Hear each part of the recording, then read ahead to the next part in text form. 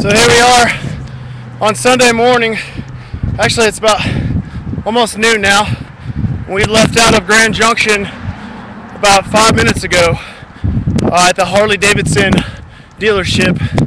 There was about 50 kilometers to send us off. You can see here, Mareike starting the day off with uh, Davidson here, our push cart, and we got a little company behind us with a police escort. Just watching our back, make sure we're safe to make it all the way to Route 6 as we push to Fruita, Colorado. Finally, completely out of the mountains.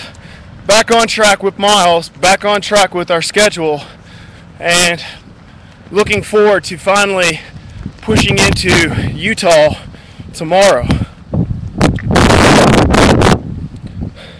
It's going to be quite a hot day. Already about 93 degrees. Might get a few degrees hotter. So just looking to, to push and make good time to get to Fruita.